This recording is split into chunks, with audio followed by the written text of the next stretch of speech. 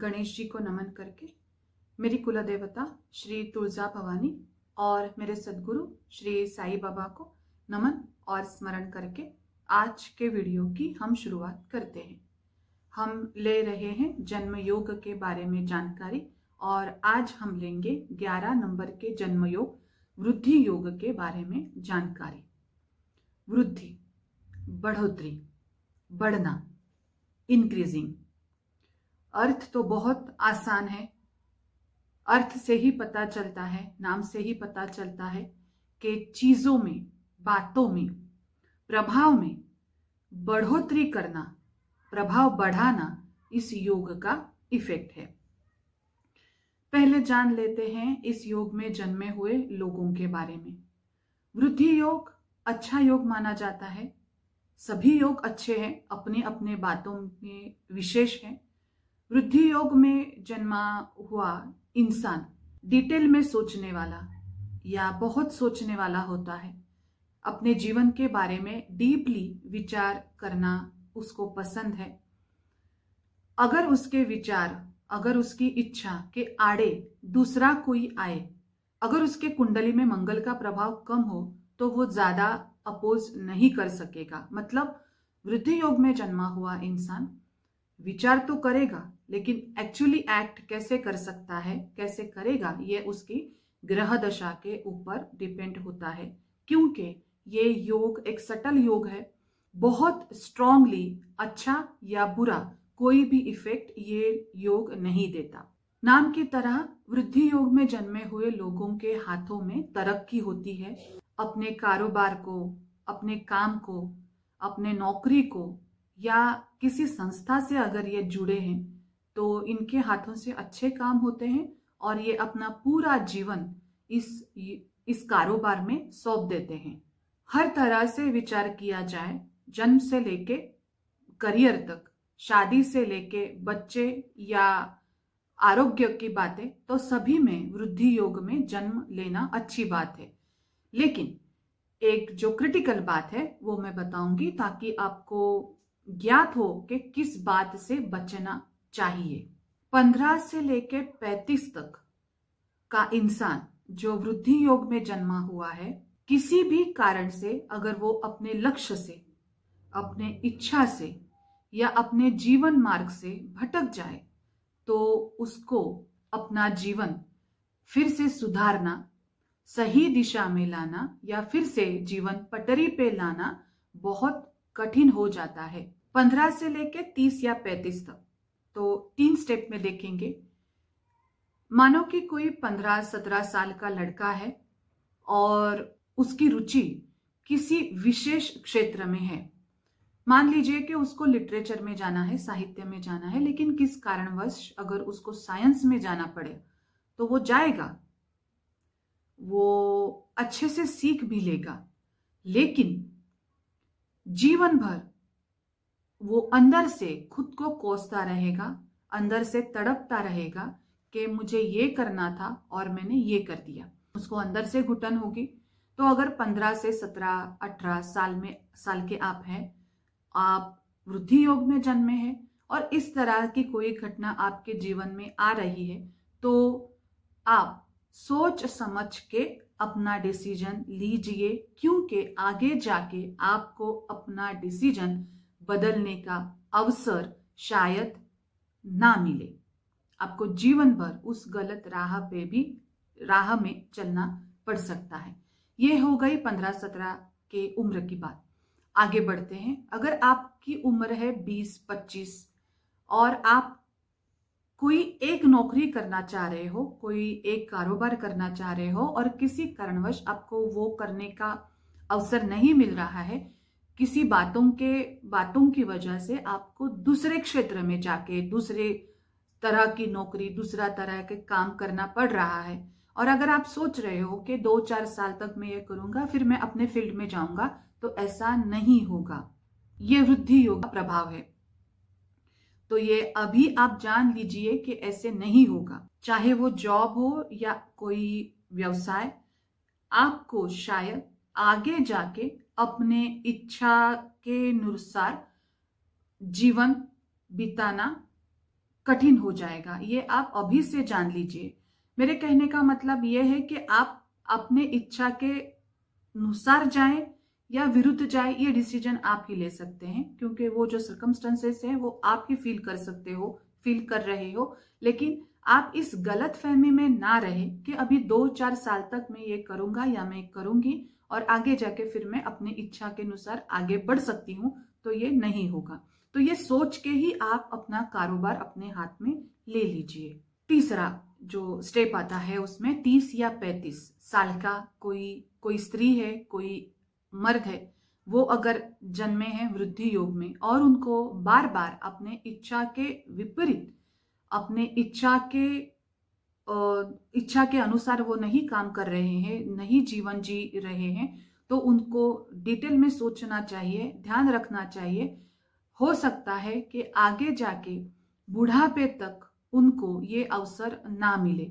अगर आप वृद्धि योग में जन्मे हैं और 30-35 साल की उम्र होने के बावजूद भी आप बहुत ज़्यादा अपने इच्छा के विपरीत जा रहे हो, आपका आपका जो जीवन है, आपकी जो रूटीन लाइफ है, वो हमेशा दिक्कत भरी है। तो आपको डिटेल में सोचना चाहिए, वृद्धि योग का ये बहुत बड़ा प्रॉब्लम है, जो इन योग में जन्मे हुए लोगों को उसकी परेशानी बैर करनी पड़ती है। होगा ही ऐसे नहीं, लेकिन हो सकता है कि अपने इच्छा के विरुद्ध कोई डिसीज़न लेने के वजह से आपका पूरा जीवन बर्बाद हो सकता है, या जीवन भर इस गिल्ट में जीना पड़ सकता है कि मैंने वो उस वक्त क्यों नहीं किया। वृद्धि योग में जन्मे हुए बच्चे और बड़े भी अगर गलत संगत में जाए, गलत राह में जाए तो पूरा जीवन उनका भटकना, अपनी गलती सुधारने का मौका उनको नहीं मिलता। उनकी दिक्कत खत्म होना इस योग में जन्मे हुए लोगों के बहुत ही कठिन हो जाता है। तो इसके लिए क्या करना चाहिए? सबसे बड़ी बात, अपनी कुंडली का परीक्षण करना चाहिए और अभी आपके जीवन में जो बड़ी समस्या आप सोच रहे हो, आपको फील हो रही है, उसके बारे में आपको डिस्कशन करना चाहिए। अगर वो शादी की हो, अगर वो कारोबार की हो, अगर वो कार्य क्षेत्र की हो, किसी भी वजह की तो आपको ये सभी जो मैंने तीन, चार और भी बातें हो सकती हैं, इन सभी का एक इफ़ेक्ट हमारे कुंडली में होता है। तो कुंडली का अच्छा परीक्षण करवा ले, साथ ही साथ कोई अच्छा काउंसिलर अच्छा समुपदेशक आपको सही राह दिखाना जानता है तो आप उससे पूर्ण मार्गदर्शन ले। इसी पॉइंट की दूसरी बात। खुद के बारे में, खुद से बात करें, खुद के बारे में सोचे कि आपका जो मूल स्वभाव है और जो अभी आप काम कर रहे हो, उसमें कितना अंतर है? अगर वो एक दूसरे से जुड़ा है तो आपको कोई टेंशन नहीं है, लेकिन अगर उसमें बहुत डिफरेंस है, आपका एक स्वभाव है और आप काम कुछ, जीवन कुछ अलग तरीके से जी रहे हो, और ये डिफरेंस ये गैप जितना बड़ा होगा, उतना ही आगे जाके आपको प्रॉब्लम हो सकता है।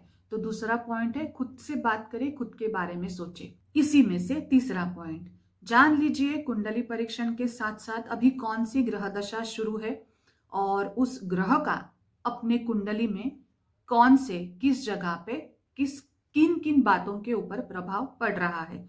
इन तीनों बातों को जोड़ के कोई अच्छा परिणाम निकल आएगा। वो परिणाम साथ लेके आप जीवन में आगे बढ़े। अगर आपको अपने मर्ज़ी के विरुद्ध जीना है तो कुछ बातों का ख्याल आपको रखना चाहिए। जिस वजह से आगे जाके पूरा जीवन बर्बाद हो गया, ऐसे आपको ना सहन करना पड़े। वृद्धि योग, बुरा योग बिल्कुल नहीं है, ये अच्छा योग है, लेकिन हर योग की कुछ अच्छी बातें हैं, कुछ क्रिटिकल बातें हैं तो मैंने वृद्धि योग की एक क्रिटिकल बात बताई। अगर वो आपके जीवन में है तो आपको इन बातों का ध्यान रख के ही आगे बढ़ना चाहिए। और अगर जैसे मैंने कहा कि ऐसे कुछ हो रहा है कि जीवन में बहुत संघर्ष है इच्छा के विपरीत आप जी रहे हो। एक करना चाहते हो, दूसरा आपके सामने आ चुका है। या जो आप करना चाह रहे हो, वो आपको मिल ही नहीं रहा है। तो मैंने हाल ही में एक बात बताई थी, नाम जप के बारे में। नाम जप का एक मेरा वीडियो है। उसका लिंक मैं डिस्क्रिप्शन बॉक्स में रखूँगी। नाम जप, वो अगर आप डेली करोगे, करते रहोगे तो यकीनन हंड्रेड परसेंट आपकी प्रॉब्लम जो वृद्धि योग की ये जो स्पेसिफिक प्रॉब्लम है, इच्छा के विपरीत जीना पड़ रहा है, वो हंड्रेड परसेंट खत्म हो जाएगी। ये थी जानकारी वृद्धि योग में जन्मे हुए लोगों के बारे में। अभी हम जानकारी लेते हैं हमेशा की तरह कि जब इस महीने में एक बार हर एक योग आता रहता है, सत्ताईस योग है तो महीने में ये हर एक योग आता रहता है तो अगर जिस वक्त ये योग शुरू होता है तो उसका प्रभाव हमारे जीवन पे किस तरह से पड़ता है? बढ़ोतरी करना इंक्रीजिंग करना इस योग का प्रभाव है। जो काम इस योग के शुरू होते शुरू है, वो सभी कामों में ये योग बढ़ोतरी करता है। इस योग की देवता है बुध देवता।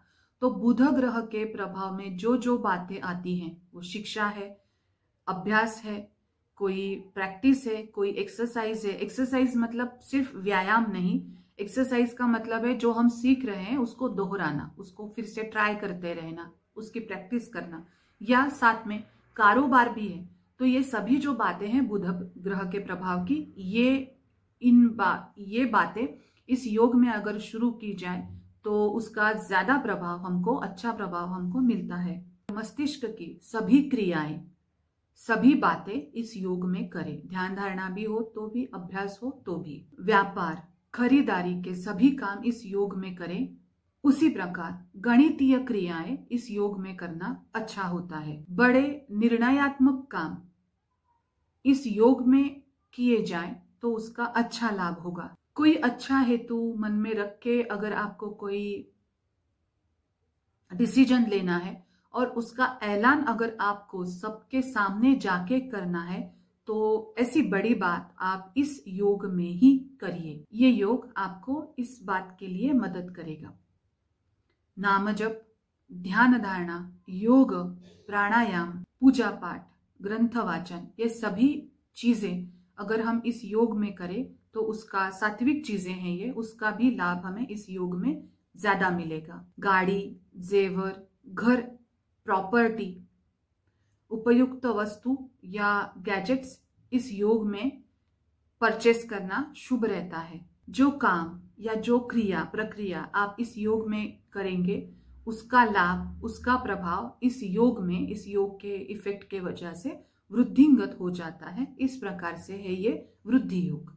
तो ये भी हमें जानना चाहिए कि इस योग में क्या नहीं करना चाहिए। ऐसा कोई भी काम हमें इस योग में नहीं करना चाहिए जो बुरा है। बुरे काम तो कभी भी नहीं करने चाहिए, लेकिन फिर भी झगड़ा, बहस, कोई ऐसे क्रिटिकल डिसीज़न वाले काम हमें इस योग में नहीं करने चाहिए। ऐसे डिसीजंस ऐसी एक्ट जो आप अपने इच्छा के बिल्कुल विपरीत है, आप अपने इच्छा के बिल्कुल विरुद्ध है, वो आपको इस जब तक ये योग शुरू है, आपको टोटली उसको अवॉइड करना है। कोर्ट कचहरी के कोई क्रिटिकल काम होंगे, या आपका अगर कोर्ट कचहरी में कोई अपील है, कोई दावा है, और आपको उस बात की बहुत दुख हो रहा है, आपको तकलीफ़ हो रही है तो इस योग में हो सके तो आप ये काम अवॉइड करें। इस योग में आप दवाई ले तो ठीक है, लेकिन शस्त्र क्रिया इस योग में बिल्कुल ना करें। सफ़र की शुरुआत या ट्रैवलिंग की शुरुआत इस योग में हो सके तो ना करें। वो सभी बातें जो आपको लगता है कि ये बात अभी आगे जाके और ना बढ़े तो अच्छा या ये बात जितने जल्दी खत्म हो उतनी अच्छी तो वो सभी बातें इस योग में आप बिल्कुल भी शुरू ना करें। वो बात जो आपको लगता है कि ये जीवन में मुझे बार बार नहीं करना पड़े या वो बात जो आपके मन में करने की इच्छा नहीं है तो वो बात आप वृद्धि योग में कभी भी ना करें। जो है, इसमें ये योग वृद्धि करेगा। शायद एक बार इफ़ेक्ट लगने के बाद आप उसमें कोई बदलाव नहीं कर सकेंगे। इसलिए वही बातें करें जिसके लिए वृद्धि चाहिए, बढ़ोतरी चाहिए। वो बातें ना करें जिसमें बढ़ोतरी इंक्रीजिंग आपको नहीं चाहिए। पैसा हो या कर्जा। कष्ट हो या सुख हो, वृद्धि योग इसमें बढ़ोतरी करेगा। काम करना हो या छुट्टी लेनी हो, घर के काम करने हो, योग अभ्यास करना हो, सौंदर्य की काम, चीज़ें करनी हो, सुंदरता बढ़ाने के लिए, या घर का काम हो, खाना खाना हो या खाना बनाना हो, जो भी रिस्पॉन्सिबिलिटी जो भी काम आप शुरू करेंगे, उसमें ये वृद्धि बनाए रखेगा। ये आपके ऊपर है कि आप क्या बढ़ाना चाहते हो अपने जीवन में। वही काम आप इस योग में शुरू करें। ये अच्छा योग है, बिल्कुल तकलीफ़ नहीं देने वाला है, लेकिन उसका प्रभाव जानने के बाद उसका सही इस्तेमाल आप अपने जीवन में ज़रूर करें। ओम साई राम